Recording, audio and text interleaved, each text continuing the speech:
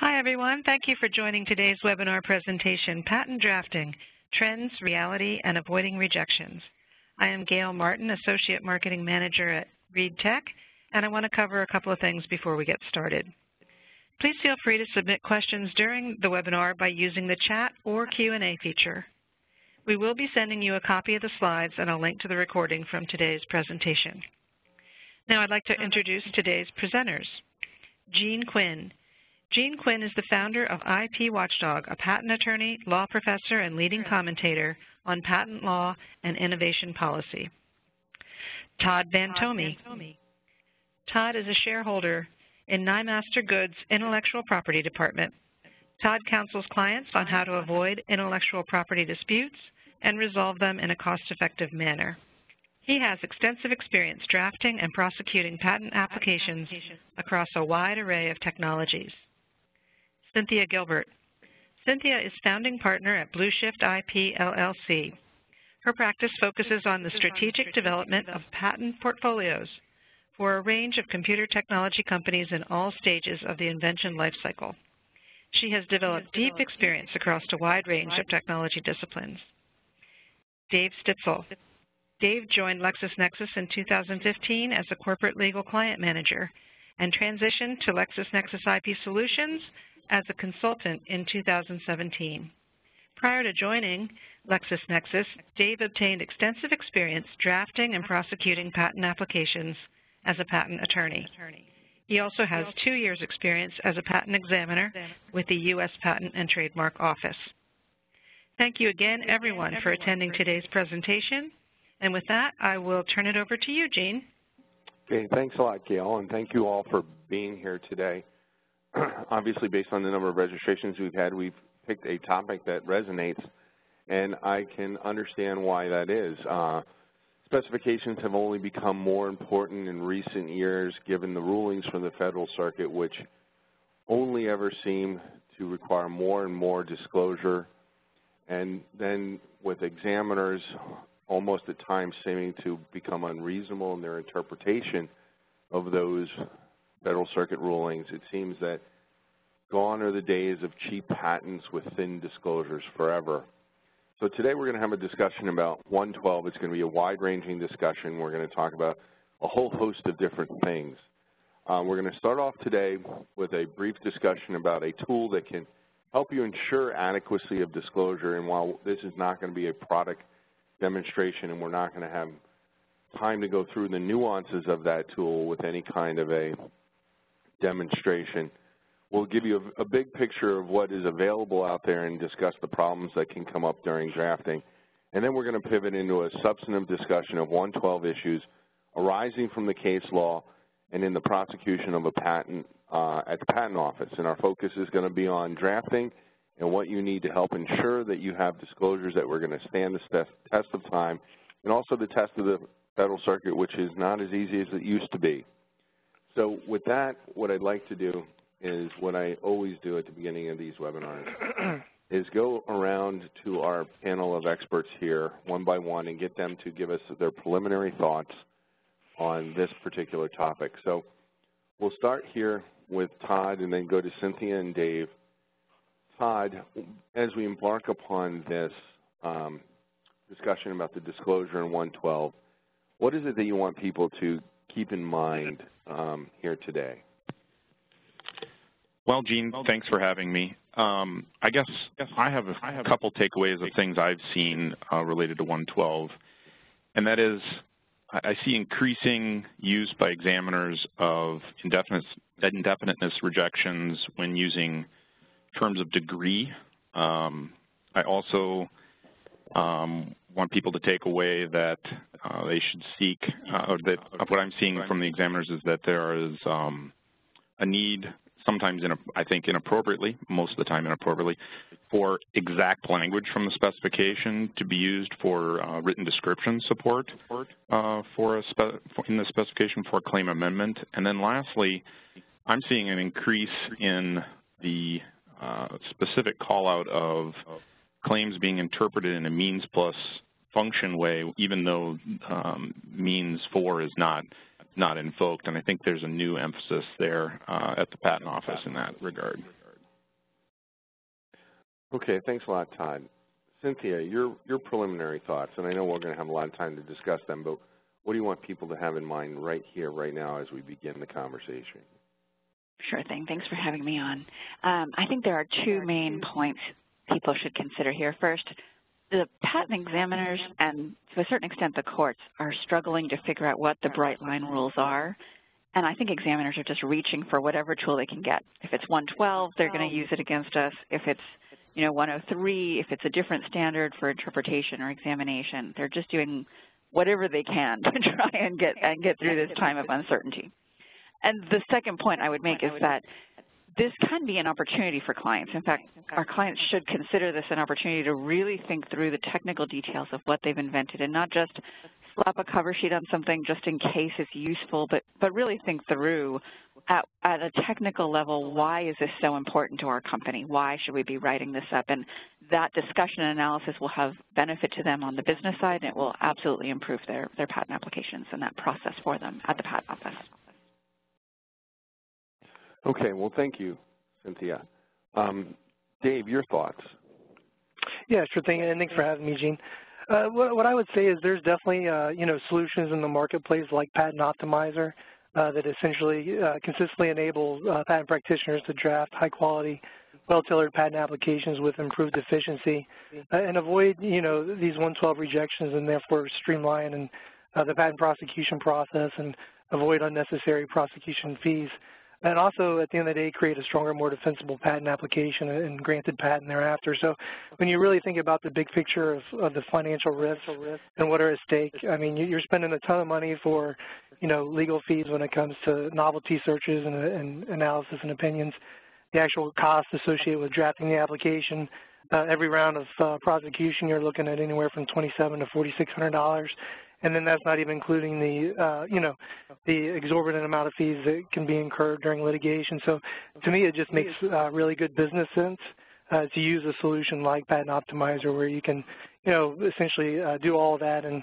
it's obviously quickly becoming, if, if it's not already, the standard in the industry. And, uh, you know, it's being used by law firms as well as top patent organizations. Okay, well, thank you very much, Dave and Cynthia and Tom, for those preliminary thoughts.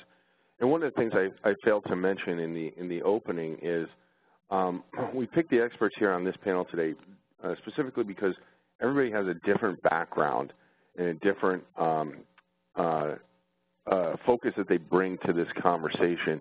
So we're going to get a, a, a, diverse set of opinions based on a, on a wide familiarity of concentrations based on different technologies. So uh, I think that'll be exciting for us as we as we go through and see how things are similar and how they might be different in uh, different areas of technology. So with that, let's go through and start. Dave, can you uh, talk to us just a, briefly here in a few minutes about what, what it is technology-wise that's available to help patent practitioners in terms of making sure that the specifications that we are submitting are actually adequate in terms of depth and scope so that we don't have problems. Yeah, most definitely. I appreciate that, Gene. So, yeah, my, my portion of the presentation is going to focus first on some specific examples of 112 rejections and related errors. Uh, secondly, we're going to focus on some of the various disadvantages associated therewith. And then thirdly, uh, you know, just a, a, brief description as far as our patent drafting solution and how it can help patent practitioners avoid those 112 related rejections, as well as post-grant challenges uh, by consistently satisfying the, you know, the written description and, and uh, definiteness requirements of 112. So the first slide uh, essentially provides non-limiting examples of errors and anomalies within patent applications that may result in 112 rejections, as well as unenforceable patents. Uh, they include failing to comply with the written description requirement, claim terms lacking proper antecedent basis, for example, like terms having ambiguous antecedent basis, uh, claims that are an improper dependent or improper multiple dependent form, claim language that may be construed as being vague and indefinite, examples of such vague and indefinite language include relative terminology or terms of degree, like relatively large, uh, terms of magnitude or approximation, like about, similar, or type, and subjective terms like aesthetically pleasing. As discussed in the uh, AIPLA 2017 annual meeting, 112 rejections also frequently arise with functional claiming, where the specification fails to adequately disclose corresponding structure, material, or acts in support thereof that perform or accomplish the claimed function. this, uh, in a couple other instances or situations where you have a drawing uh, set and you have the same part number uh, being used to identify different part names within the specification. And kind of the flip side of that would be different part, uh, excuse me, hearing a little bit of reverb, uh, diff different part numbers being used to identify the same part name. Also, uh, situations arise when you have inconsistent conversions between English and metric uh, units of measurement. So these are, you know, just given my patent uh, examiner experience, these are things that a patent, or excuse me, a patent examiner will be uh, looking for when they put their, you know, examination hat on when it comes to 112 issues. So uh, the next slide is essentially outlining the, the 112 rejections and related errors that result in many disadvantages. And, and, these disadvantages include increased pendency times and unnecessary delays in patent prosecution, increased patent prosecution costs, decreased patent prosecution efficiency, which is detrimental, obviously, in flat rate-based fee agreements, delayed receipt of a notice of allowance due to SOLA 112 rejections. And when I say a, a SOLA 112 rejection, I'm talking about an office action where the 112 rejection is the only re substantive rejection uh, in the office action uh, without the presence of any prior art 102 or 103 rejections. Uh, also, the institution of weak ancillary 103 prior art rejections uh, that may not have otherwise been asserted by the examiner, but for the need to, uh, to address the 112 rejection in an office action. And then, of course, opening the door for prosecution history estoppel uh, based on narrowing amendments as well as corresponding arguments made to overcome those 112 rejections. And then uh, last but not least, uh, weaker and less defensible patents. Um, on, I'm sorry, I didn't go to, I clicked on that and it, uh, let me go back. I was, that's, I'm sorry if I, if I double clicked. Uh, so anyways, last but not least, uh, the weaker and less defensible patents, which are more susceptible to post-grant challenges for failing to consistently meet the legal requirements for patentability, uh, including the written description and definiteness requirements of 112. so the, the next thing I wanted to mention uh, would, I think these slides might be a little bit out of order. Okay, so uh, what I wanted to get to next is, is Patent Optimizer. Uh, it, it is an extremely beneficial and powerful patent application drafting solution, which enables patent practitioners to do a number of things uh, some of which I, I, touched on earlier at the, at the beginning, including drafting high-quality, well-tailored patent applications with improved efficiency, streamlining not only the patent preparation but also the prosecution process uh, with an eye toward avoiding 112 rejections and related errors, and then, of course, uh, creating stronger, more defensible patents.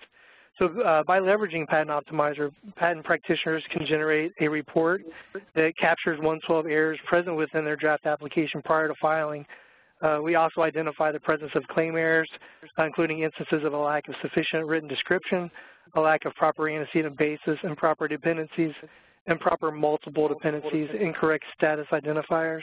Uh, if, for example, if you're working on an amendment, uh, numbering errors, uh, missing claims, and missing periods. Our uh, solution also searches a specification for su sufficient written description and what's awesome about this is we not only look for explicit literal support, uh, but we also uh, look for similar support like grammatical uh, variations, as well as implicit conceptual support based on our proprietary patent thesaurus.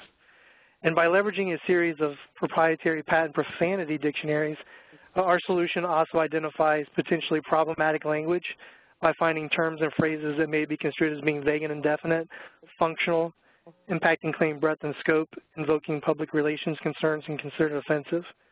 Our solution also identifies means plus function claim language and locates uh, the recital of structure and support thereof within the underlying specification. And what I think is really impressive is, we also uh, look, or we also provide suggested um, structural variants uh, uh, and that's being obtained from our U.S., WIPO, European, and, and Canadian patent corpus uh, for possible inclusion in your specification during drafting. So we're providing you with supporting uh, structure that's being mined from across the entire patent corpus uh, to give you a feel for, uh, you know, structure that you may be able to incorporate into your specification. And uh, I would say also that we enable patent practitioners to detect and correct inconsistent conversions between English and metric units of measure. And uh, in addition to identifying in inaccurate and inconsistent part names and numbers uh, within the drawings and description of your draft application, Uh, our solution also provides the ability to auto-generate a part name and number index, uh, which is trem a tremendous time saver when analyzing drawings of cited prior art references during prosecution, uh, as well as asserted patents uh, during pre-litigation and litigation.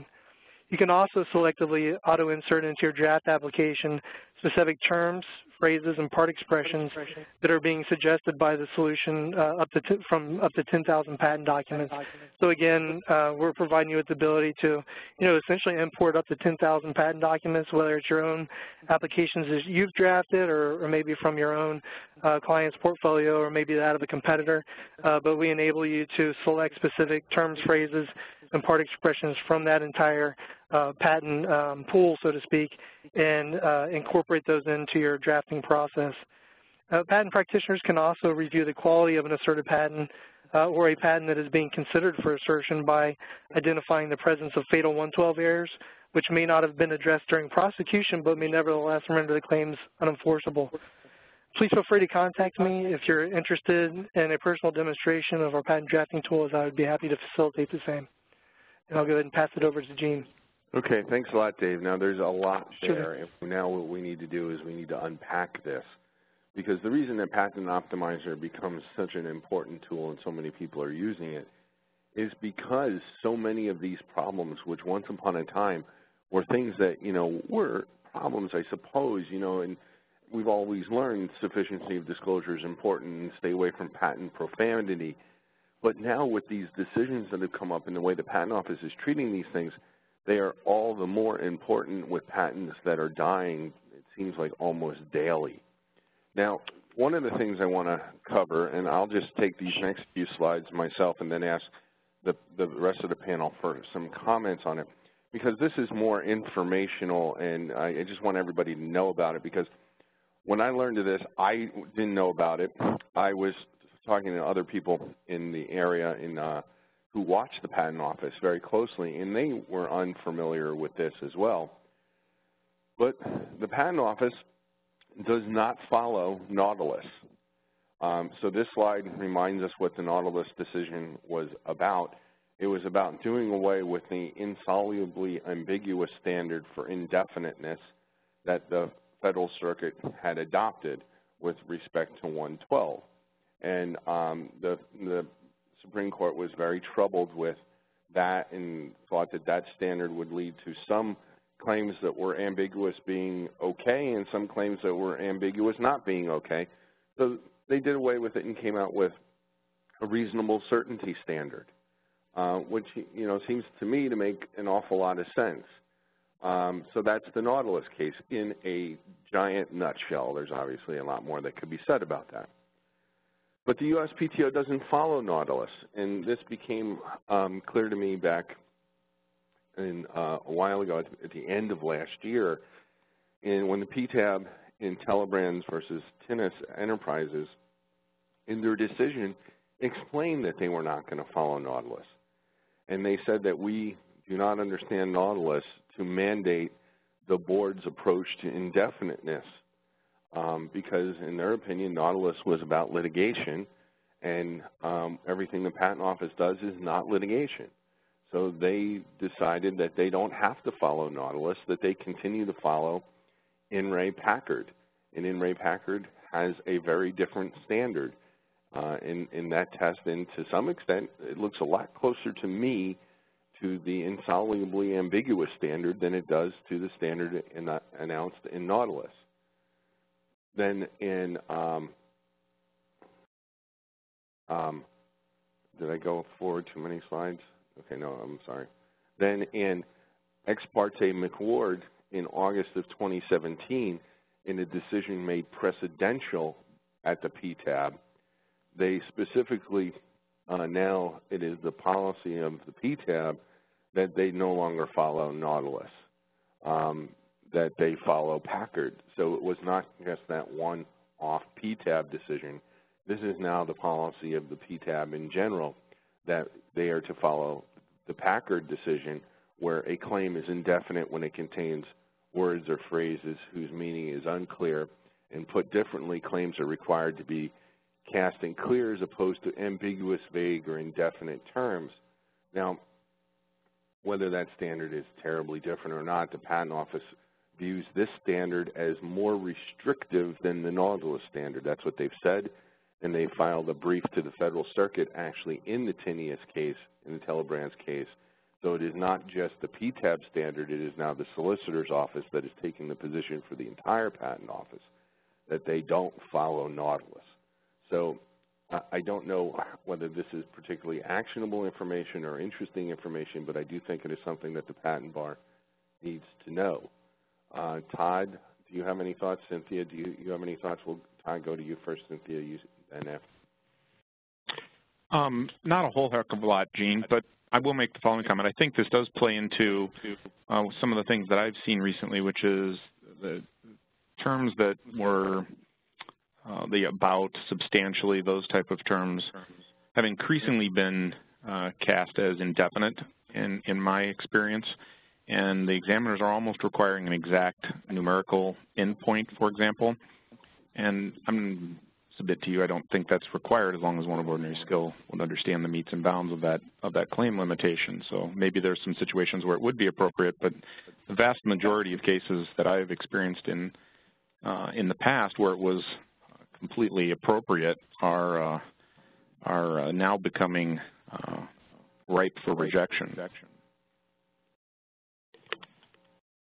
Cynthia, any yeah, thoughts? I, I, I think it's clear they're giving the patent office a very wide flexibility and, and letting them pretty much do whatever they think is appropriate instead of having a very confined uh, take on 112, which can can cause some some frustrations, I think, as, as Todd's pointing out. But um, I think the the take-home message is here: the patent office is allowed to do this stuff for now until they do something differently at the uh, the upper court level, and we should just bear that in mind. The patent office has, has a wide wide wide flexibility.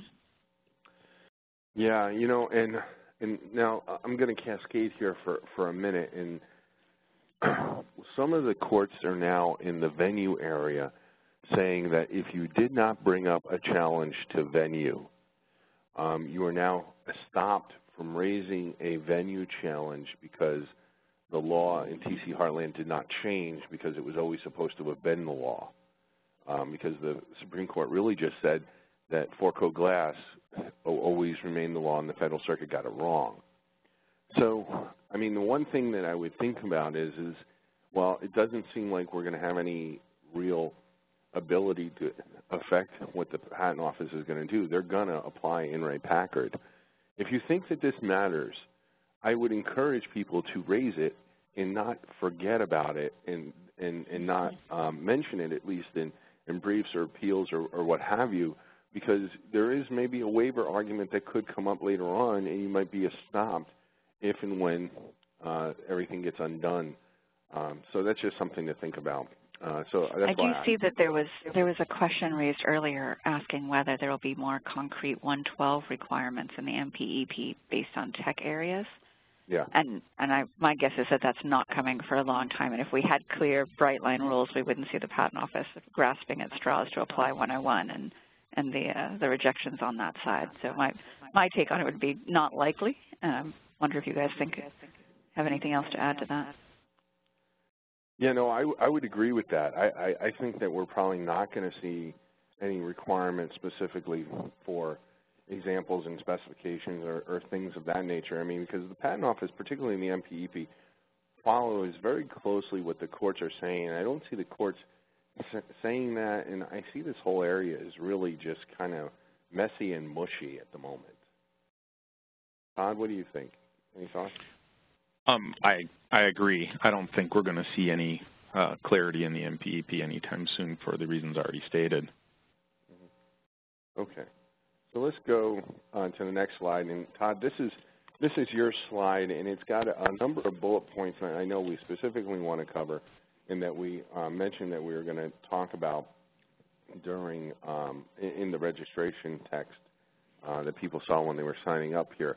Do you want to uh, take this slide away and, and give us a little uh, discussion about what you have here? Yeah, sure. So, um, um, and giving some thought to the presentation today, I, I came up with a few uh, bullet points here to discuss um, and at least consider.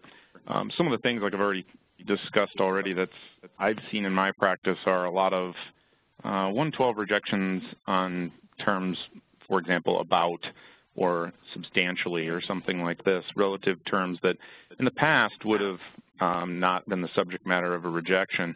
Um, so what I've done is I've started considering, at least in conversations with clients, defining those terms of degree. I haven't really done that very much yet. Um, or uh, more significantly, including uh, alternative numerical ranges or limitations for the amounts of ingredients or components in a in a, a claimed system, uh, and then specifically doing talking to clients about um, have they done experimental work across the range? Um, is there a significant drop off? Where does the range actually begin and and uh, and end? Um, so, in, in doing so, I guess it leads into the second bullet point. Well, hold on. Before um, we go, yeah, before yeah. we go there, I want to specifically because when we, you and I we were talking about this leading up to the call, um, there was something that you know, I, and I don't deal. I know you deal with food science and mm -hmm. that, that's that area, and that's not an area that I've ever really worked in. But we were talking about uh, food products and the difference between how you might describe the food product to consumers in terms of the consistency um, and what might be desirable from a marketing perspective and how oh, you yeah. the patent application. And I found that personally fascinating, and I think others would as well. Could you give us a little insight there? Sure. So, so in in my practice, especially in food science, uh, clients want to talk about. Um, I guess I'd, I'd conceptualize it like this: they want to claim the benefit. So, if something is a moist core after microwaving or something for this example. That might be the benefit, and that's uh, interesting to uh, put in the patent application, but you know, it, probably not going to get uh, get past um, many uh, of this type of rejections nowadays. So what you need to do is have a conversation, or what I've started doing is have conversations. With, yeah, yeah. Sorry, I'm getting an echo. Um, um, so what I've started to do is have conversations with clients about um, what what's the feature of the invention, what's the actual technical uh, feature that is providing that benefit, and trying to really drill down and give a lot more detail uh, about uh, sort of the the technical feature that is providing that benefit, and really trying to define um, where that comes from, and then not only where it comes from, but then, okay, how are we going to measure it, and how are we going to, do we need to establish our own uh, test, or uh, what do we need to do to describe it adequately so that uh, it can pass muster under 112?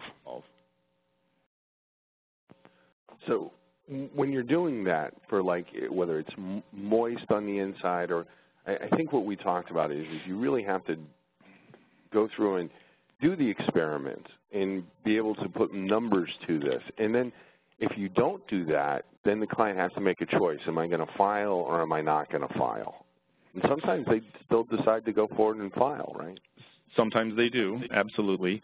Uh, obviously, if you can quantify that, and that's kind of what I'm trying to get at of how you measure things at the end, um, that would obviously be the best. Uh, the other thing, uh, I have conversations with clients, and if they don't have the experimental evidence or the resources to conduct further experimental evidence that will help us drive to that. Um, one of the things that I sometimes discuss with clients is whether or not they're going to file uh, the application anywhere other than the United States.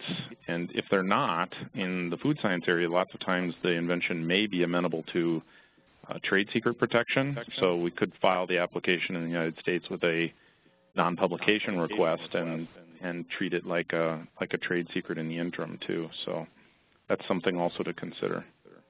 Mm -hmm. Now, Cynthia, let me loop you in here in this discussion too, because I know you focus on software in the electronic arts, and I know a lot of times in in that space, 112 is a real issue, and you get 112 and 101, and a lot of times I think they really overlap, right? I mean, if you have 112 support for a real invention, that goes a long way to, to getting you past the 101 hurdle, doesn't it? It does, absolutely. And I, I think one thing that's interesting about the, the trade secret idea that, that was just raised is that it's really hard on the software side. I mean, a lot of times there's a user interface, so you're going to let people access it or download it or or really play around with, with the invention uh, because that's what you want your consumers doing. Uh, and so, so it's kind of interesting. There's another technology area where that's a great idea, um, but that's a struggle on the, the software side a lot of times. So yeah, if you can if you can pay attention, a lot of these bullet points really do apply on the on the software side. If you have evidence, if you've actually implemented it, sometimes clients will say, well, we'll we'll just code that up. yeah, but how is the question. And a lot of these points is really getting to what are those surprising, unexpected properties? What are the elements that are actually going to execute this? How are you in particular going to pull that off? Where are you getting that data? What are you storing it in? And, and so getting through the 112 yeah, questions is often very helpful for nailing down the 101 approach. Yeah, you know, and I always try and tell people because I do, or I used to do a lot of software. Now I do a lot less practice than I than I used to do. Uh, but what I I always used to try and tell people is with software, innovation resides at the at the intersection of Murphy's law, right? You know, if you were yeah. really describing your invention so it goes from A to B to C to D in, in this kind of linear fashion, it's probably really not an invention. And on top of that, it's probably really not going to work because mm-hmm. it's got to be a system, and any system has to assume that it's going to have human interaction that is going to try and break this. Maybe not intentionally, but increasingly now with uh, ID theft and all the kind of security problems that you have, um, a lot of times these things are written up without any appreciation of the real world environment. And that, to me, is a 112 issue. Yeah, and in some ways, the, flip side of that is you'll find your real innovation in the areas that where that address what happens when this goes wrong. When this doesn't do what you expected it to do from A to B, then that's where you've got a hook. That's exactly right. Now, Todd, is that also what you find in in the food science, particularly? I know you do mechanical stuff, and we'll get to that. We have some bullet points here. But is that really also where the innovation often rely, resides and why you need to go through and do these experiments because when you do it, sometimes you really are shocked. Yeah, that's yeah. where sort of the uh, ascertaining and highlighting the surprise and unexpected result uh, properties of the claimed invention comes along in bullet point number three here. Um, and I guess it sort of ties into, uh, um, I guess what I would also consider doing lots of times in my experience in food science, the inventor's own work is the closest prior art. And if that's the case, um, even further beneficial um, data to include might be uh, comparative examples of the inventor's prior work. Um, you have to be a little careful with how you do that, but show how uh, the unexpected results happen and compare compare the two. Um, like I say, lots of times it's uh, you know the other other people, other applicants prior art um, might be relevant, but usually the inventors uh, working in the exact same area and may have stumbled across uh, an improvement like that. Okay. Gene, I see so a question on here asking for more clarity on how 112 can tie in with 101. And I'd just like to comment that the more specificity, the more technical effect you can be describing, the less likely it is that the examiner can use these 112 weaknesses to argue that there's an abstract idea. if you've got you know, a particular component with particular definitions and functionality, and that's all very clearly laid out, you've identified alternatives, you, you really taken a lot of steps technically speaking, um, to, to walk back from the, the abstract argument. Yeah, no doubt. Now, Todd, I didn't mean to um, sidetrack you before, and I wanted to let you get back on track here because um, I know, uh, do you want to jump in here at the mechanical piece, or is there more to say about some of these other things? Oh, no, actually, storytelling, what am I doing? That's one of the big pieces I wanted to get at. Can you tell us more about what you have there, please? Sure. Um, um, during during my career, I, I, have kind of fluctuated from at the very beginning. There was an emphasis on sort of traditional drafting of tell the story in the background and then the solution and the detailed description. Um, we've kind of gotten away from some of that. We don't limited sort of the background to a very scant few sentences in some situations, but um, there may be some benefit of talking about um, and highlighting the um, solution with uh, respect to the problem that was before uh, the the inventor in in the uh, inception of the invention, uh, in the sense that it helps you tell the story to the examiner in a food science or chemical case and saying and establishing sort of this surprising and unexpected properties um, as you make your argument for patentability of the claims. So I've started to expand a little bit of the background um, where the case is appropriate and, and describe um, how the application came about to being. And I found it helpful. Yeah, I mean, that can, and, and that's one of those things that when you get these absolute rules, they're absolutely wrong if you apply them absolutely. you know, none of these absolute rules fit 100% of the time, you know, and I, and even before, we, we just talked about this in, the, in the pre-call here, um, even before KSR, there was always this no good deed goes unpunished. Say as little as you have to say, you know, you should be given Miranda warnings before you file an application, right? Because anything exactly. you say can and will be used against you. Then KSR comes out, and it's like, see, we told you all along, what you do say is going to lead to obviousness. So now some companies come up with rules, limited number of words in the background.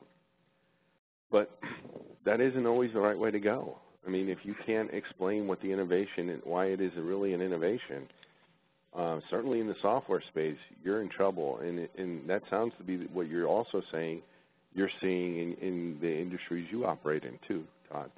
Absolutely. Absolutely. And, and you can do it somewhat in, uh, you know, declaration evidence after the filing and things, but I think it adds a little bit more if it's in the background at the inception when you're explaining to the examiner, when you're quoting the application as opposed to relying on a declaration uh, provided by, by someone.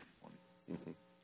Now, Cynthia, what, what are you doing in the background now? I mean, per, like particularly maybe post EnFISH, which it really looks for the innovation, and if you're not really articulating what the innovation is, you've got a, a long road in front of you. Yeah, we're we're definitely still cautious about what we say in the background itself, and, and anything that can be described as as, as the background section or anything like that. But we're doing a lot more of of laying out the problem and the solution, almost taking a European approach to things and saying, in some embodiments, we've got something here that's going to solve this technical problem, and we're we're thinking of this in terms of how do we prove this isn't long-standing, and we're we're identifying these components or these anal analytical properties or these functions are not in the existing, you know, ecosystem, and here's the particular problem that, that we're solving because we have that functionality available. So we're, we're addressing that, but not necessarily by, by having a lengthy background. Right, right. So you do have, we have a question as to what are the downsides for doing this later on, and, and, and you know, and it's, this is really a catch 20, 22, and I think – it's hard to talk about these things in, in generalities. I think what you want to do, my, in my own personal view, is you don't go into these things with any kind of preconceived, absolute, you can do X, Y, and Z. But the general rules apply for a reason. You know, you generally don't want to have long and wordy backgrounds. That, that's, that rule is there for a reason. Uh, and I think if you're going to violate that rule, you need to convince yourself that there's a sensible reason to do that. And I think that that's sort of also true when, whenever you make any kind of positive statements about uh, the solution or characterizing the innovation, because all those things can come back to haunt you. But at the end of the day, if you're not going to be able to get the patent unless you do that, then the litigators are never going to have anything to argue about anyway. That's exactly right. I think you're exactly right, Gene. I think in my practice what is really helpful along lines what you're saying is really work with the client to identify where is the invention. Is it in a particular combination of things, a particular amount of something, and or maybe it's more than one concept, obviously. But if you can really work on defining um, the metes and the bounds uh, from from the inception, it helps later on. Okay, Todd, can you tell us a little bit about your last point here, because that leads us into uh, the next slide after this here. Sure. The on the means for. Yeah, please. Sure. I mean, I've seen um, much more uh, uh, characterization on the record of, uh, I guess, what would have been considered potentially considered more structural limitations in the past, and being called out as being interpreted under 112 paragraph 6. Um, for example, um, whatever a air moving device um, might might be uh, interpreted under 112 uh, paragraph 6, and really it's referring to a fan, for example, in the specification. Um, that is now being called out specifically in office actions that I'm seeing as being interpreted under 112 paragraph 6. And all I'm suggesting is um, if you're going to include uh, something like that uh, that doesn't have a lot of structure to it, um, it may be beneficial even in mechanical cases to go through and have a conversation about each element of the device and say, okay, can this be done in a different way by a different uh, mechanical mechanism so that we can be sure to include it in an application similar to what I would do in related chemical arts, right? Um, but make sure we do that or and or be cognizant of the fact that you might get an interpretation by the patent office even on the record that that's going to be a 112 paragraph 6. Yeah, yeah, and that um, well, and that sort of leads us into this this next slide here on means plus function, which is just to really a reminder um, that, and this is an excerpt from an art, some article, an article that I'm going to be publishing next week on IP Watchdog, which is I've updated. I published several years ago a primer on means plus function, which was getting long in the tooth and really, really needed to be updated. So I've gone and I've updated that, and that'll be publishing next week. And it just, remember, you know, if you're using means language, there's a presumption you're invoking 112F. If you're not using means language, there's a strong presumption that you're not invoking 112F.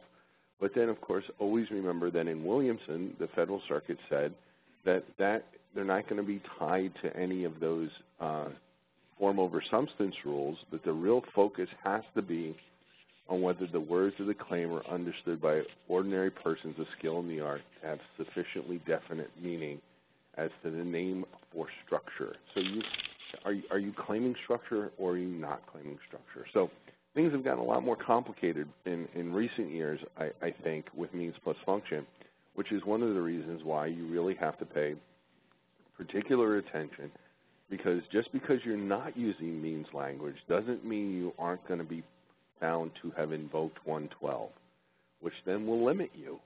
Um, Cynthia, thoughts on that? I mean, because this comes up maybe um, not only, but it does come up certainly a lot, or can come up in the in the software area. Yeah, I haven't seen too much of this particular issue, but it's certainly something I, I go over with clients all the time and say, okay, well, you, you told me you've got an engine for doing this, but but you you haven't given me any details on it. You haven't laid out any functionality. You haven't provided any real specificity in there. And so let's really dig into what is it that that you've invented. How how did you come up with that engine? What is it? Because it's going to be so clear to some some court, you know, a decade out, that that's really easy to knock down by saying it's it's a means for doing this. So we we talk about it, but I haven't seen it come up in an examination or anything like that in a large portion of my cases yet. Todd, any thoughts on on means or means for or? I mean, yeah, I, will just I'll just reiterate that um, I think the patent office is putting an emphasis on this. I even attended a seminar recently where someone from the patent office uh, spoke, and they provided a slide where they're giving training to inventor, I'm sorry, examiners on um, trigger words essentially. So system, uh, device, things like this to have them really critically look at some of those type of things um, to make sure that they are are or are not properly applied under 112 paragraph 6. So I think it's a, it's a new area of emphasis for for them. Yeah. Yeah, I think I think it is a, a definitely a new area of emphasis, um, and it's understandable in light of the Federal Circuit cases. You know, uh, and it's an area, unfortunately, and this is one of the frustrating things, and not only with this area of specifications in 112, but all of patent law, is it's getting more complicated. It's getting less bright line rule oriented. Thank you to the Supreme Court for that. And we have over 8,000 patent examiners, and most of them aren't lawyers. And I think that in and of itself describes why we're getting a lot of disparate treatment uh, with from examiners who are just applying things very differently than one another, and it's frustrating. I, I don't have a good answer there, but it, you know, it's what we are all feeling and we're all seeing. I mean, I'm I've seen it. I'm assuming you guys are too. Are are you seeing that, Todd, Cynthia? Absolutely.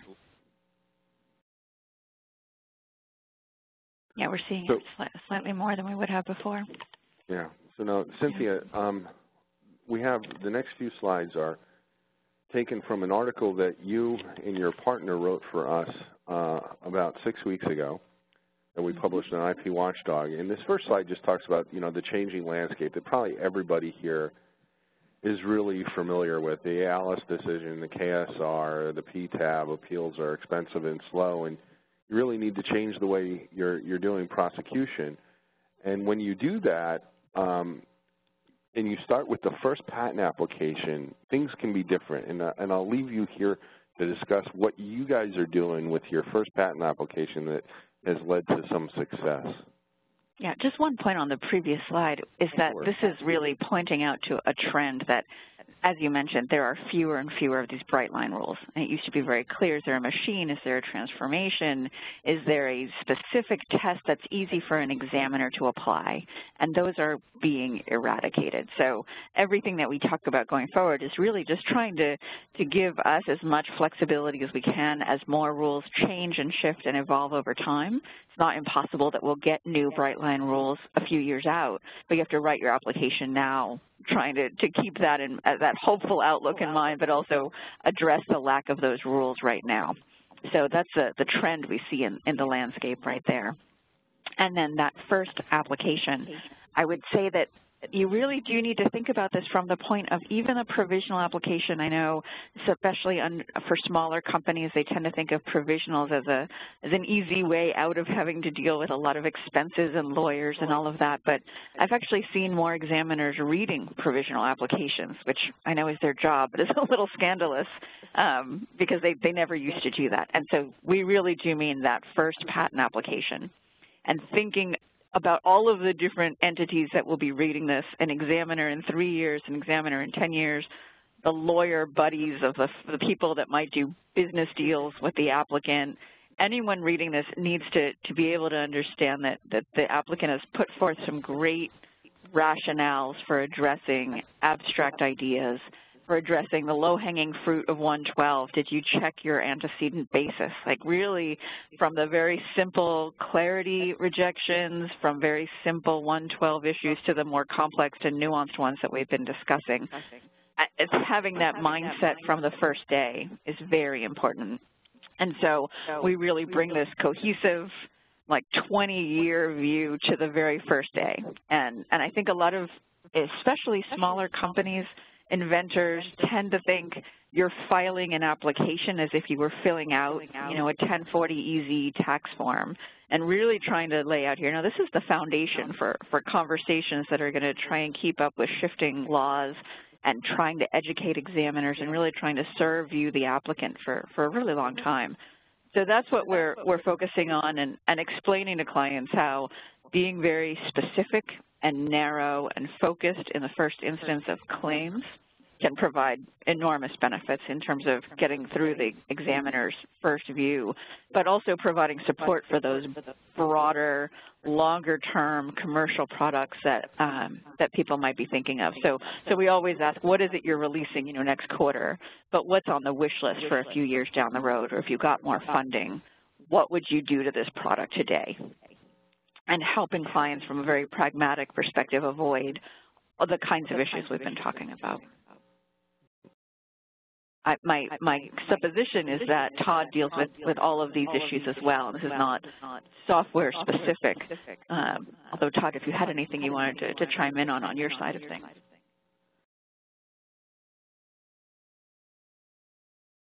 No? Okay. Okay. So we'll uh, go to the next slide. Uh, the benefits of this strategy. Right, and, and I think a lot of times it used to be the case that you could file something very broad in your claims and then work with the examiner to narrow it down and, and come to something rational.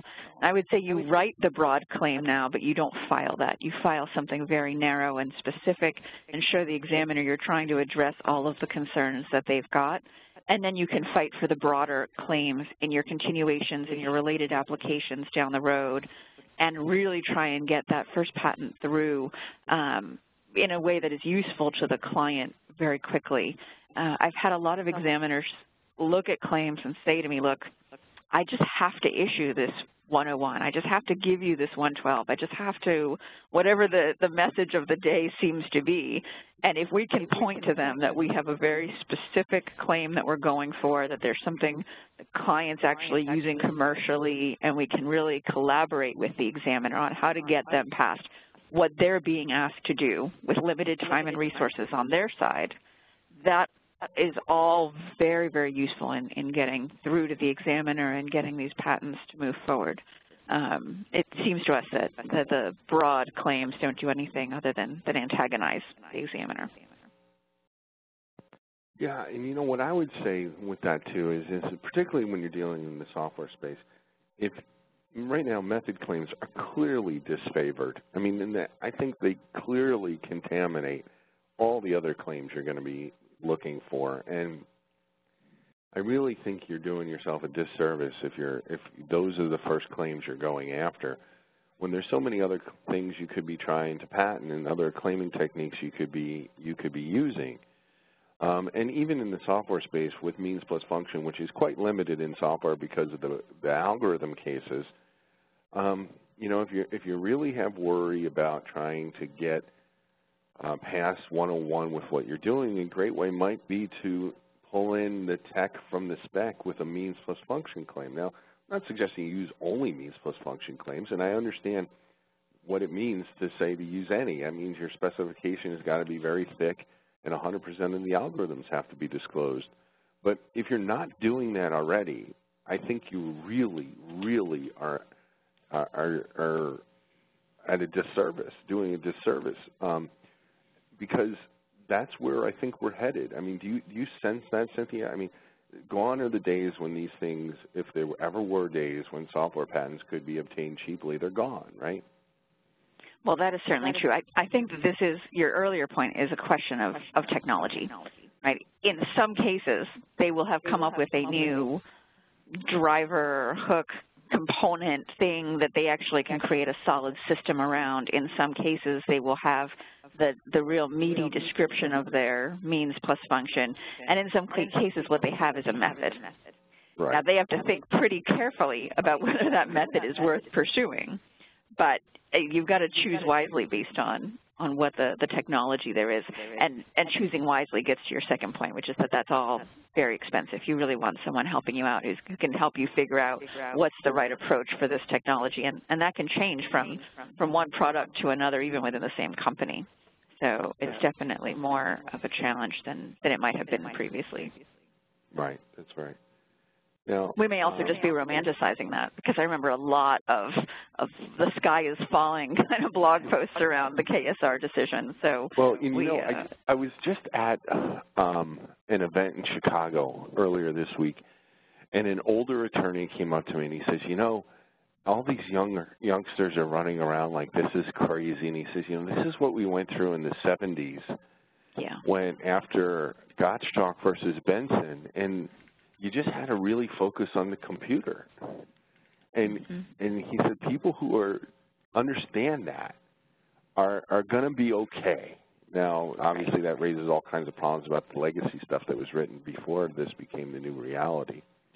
But his his message to me was, and something that I've been trying to get people to hear too. So I was, amen. Is you got to go back and look at what attorneys were doing in the 70s, because the, there's going to be some important clues there um, particularly in the software space. And it all comes back to a very well-written specification at, at the end. And that, if you if you can do that and follow all the suggestions you were just laying, and then go back for more, that's that's the key.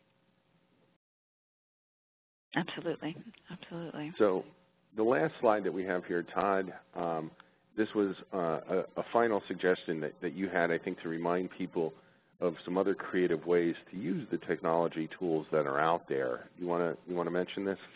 Sure. I mean, Patent Optimizer was already discussed, but it's something that we use periodically throughout the process. Obviously, when you file the application, we try and do it with every response we file uh, and at least check for uh, antecedent basis issues, the basic things that, that, that you want to make sure that don't don't get missed. And so as a, as a matter of practice, we, we try and um, run a patent optimizer report, at least on an antecedent basis, portions of what's in the claims and how they may have been amended um, prior prior to paying the issue fee to to check and see if there are any issues um, and uh, and and address them um, before the patent issues. I'd like to add uh, something to that as well, if you don't mind. Sure, go ahead, Dave. I was just going to mention, you know, uh, you know, examiners are under tremendous uh, time constraints as well, and you know, quite honestly, uh, I've ran uh, Patent Optimizer against granted patents, and they're just riddled with 112 issues. And I, I think Todd makes a great point that you know it's a great idea not only to implement and leverage the solution prior to filing, but also do so before, you know, uh, paying your issue fees. And, and, the reason being is that at the end of the day, you know, we're all human, and, and there's chances for for overlooking certain uh, you know, deficiencies within the spec. And at the end of the day, you want to make sure you have a patent that's going to be worth the paper it's written on. And uh, it's just a great way to address those 112s, uh, you know, prior to grant uh, so that you can survive those post-grant challenges. Yeah, you know, that's become more and more important because um, certainly this is something that uh, our friends in pharma have done forever, right? You know, because if they're going to get a blockbuster drug, they're going to need to to make sure that patent is in tip-top shape because the money that it's going to create as long as the patent remains in, in effect. Um, but now it, it's true for, for anything that's commercially valuable. It seems that anything that's commercially valuable is going to be challenged at the PTAB. That's just the new reality that we live in. Um, and if there's ways to make sure that there are mistakes found up to and including the time of the payment of the issue fee, I think you, we really need to take that more seriously and do what our pharma friends have been doing all along, which is checking and cross-checking and rechecking and making sure. Um, and so there's tools out there that now make it really much more easy to, to do, and uh, or you know at least it's never going to take away the human element, but it, it facilitates it for sure. So uh, and that that's our, our our last substantive slide. We have some some some questions here. Uh, I'll try and get to a couple of these before we we break. The, the one question here uh, asks, in what context could you imagine uh, trying to force the patent office to begin applying the Nautilus decision instead of In re Packard? And I can't imagine any particular context uh, where that would be the case really, where you could force the patent office to change their policy. They seem to have really dug in on this, and I think it's going to require the Federal Circuit to tell them that uh, Packard is not the right test, or perhaps maybe the Supreme Court to tell the Federal Circuit to tell the Patent Office that Packard is not the right test. Uh, I don't know. I mean, Todd, Cynthia, do you have any thoughts on, on that? I mean, I can't imagine getting the Patent Office to change their stated position on that. I don't know I why they would be the least bit amenable to that coming hearing that from an applicant for sure. I think they're yeah, going to they to hear wouldn't. from somebody pretty far up the chain. Yeah, yeah, no. I think um, they're pretty well set. Yeah. Now we have a question here, and I think that this relates to when we were talking about means plus function. Have you ever seen, quote, step for uh, asserted for method claims in litigation? And I think what that's meaning is have, have we ever seen an have you ever seen an issue where step for has uh, implicated means treatment with a method claim? Hmm. Not off the top of my head. Yeah. Yeah, I'm in the same boat there. You know, I have a vague memory that there was a case once upon a time where um, comprising the, the steps for may have been interpreted differently than just the transition comprising, but I'm drawing a blank on the name of that case and at what level that case was at. Um, and certainly it's not something that comes up with any kind of real regularity, but I do have that in the back of my head, and I can't remember exactly why, but uh, so there, that it's either a case or it's something that's apocryphal and well known or something, and I wish I could say more, and I apologize. We had somebody that mentioned it would be great to have the trigger words list that Todd mentioned. What I will say is we tried to get permission to, to get use that list and get that slide, and we had, unfortunately, we're unable to get that slide. But Dave, I think you have some information on where people can get that, a list, uh, maybe not that same list, but a list.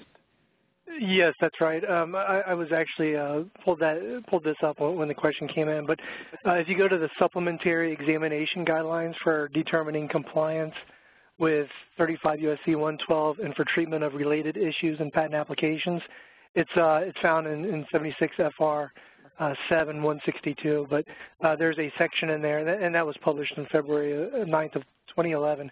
But there's a section in there uh, dealing specifically with that question of examples of claim terms other than means for uh, language that may invoke 112.6. And some of those uh, key terms are, are mechanism. Uh, Todd, I think, uh, spoke to a couple of these as well. But just some, some uh, you know, non-limiting examples that would include mechanism, member, element, circuit and circuitry, detector, and assembly. Okay, and that brings us to the hour. So the last thing that we have here is just if you guys – in real, you know, rapid fire uh, way, could give us your parting thoughts. Uh, Dave, let's start with you, and then we'll go Cynthia and to Todd. What do you want people to take away from, from this webinar uh, with respect to the state of 112? Yeah, I would just say that obviously there's, you know, a, a lot of case law surrounding it, and I think some of that case law could have been avoided if, you know, uh, the applicants and applicants representatives were, were using a solution uh, like what we offer to, to avoid some of those issues, whether it's during prosecution or, or post uh, post grant. So, um, you know, it's kind of a reiteration of what I was suggesting before, but uh, that would be my takeaway. Okay, thanks, Dave. Uh, sure. Cynthia. I'd say it's easy to, to feel really depressed by all of this, but we should really be trying to view this as an opportunity for meaningful conversation around how the patent is going to further a business objective, right? Very clearly, very concretely, what did you come up with? How is this helping you? And be very specific about that. You will run into, you know, 103 issues if you're if you're too narrow. How do you balance that with workarounds that are already out there? But but really think of this as an opportunity to have conversation between the attorney and the client and and how this all fits into their business. Great. That's that's really good advice. I, I'm a big fan that and think that when the attorney and the client are really both working together and on the same page, that's when you get the best product anyway. Todd, your final. Yeah, I guess I guess that's, that's sort of my takeaway as well. I think the takeaway for me and what I've tried to do is really work with clients to sit down and identify what all of the potential inventive aspects of an invention may be, and then how different ways or the best way or ways we can think of at the moment anyway to describe those uh, features as well as the benefits of what each of those features provide when I'm writing the specification. I think that's the opportunity I see to build kind of on what Cynthia was saying. We sit down with the client and really have a meaningful dialogue about those things. Yeah, I think that there's really no substitute for that is provided you have the client that's willing to participate with you. And unfortunately, sometimes that's that's not the case. But when you when you have that, I think you really need to take advantage of it. And I guess you know, and this seems maybe maybe trite, but as attorneys, you know, we get so used to dealing with with the clients that have so much other stuff on their plate. They just want us to handle it all, and they don't really have time for us, and they don't even want to talk to us. And maybe my takeaway would be is maybe try not to be as cynical as an attorney and, and maybe don't assume that the next client won't want to participate because I think today the, the applications you work on where you really can get meaningful client participation are going to be so much better and uh, it's going to make your life a lot easier if you can get that participation anyway in a meaningful way where you are the one driving the ship and they're the ones that are really conveying the information and letting you form the specification. So thank you guys for participating. Thank you, LexisNexis and Reed, for, for sponsoring this. And we look forward to having you guys on uh, join us on another webinar here in the near future. We'll talk to you all soon. Thank you. Thank you. Thanks, Gene.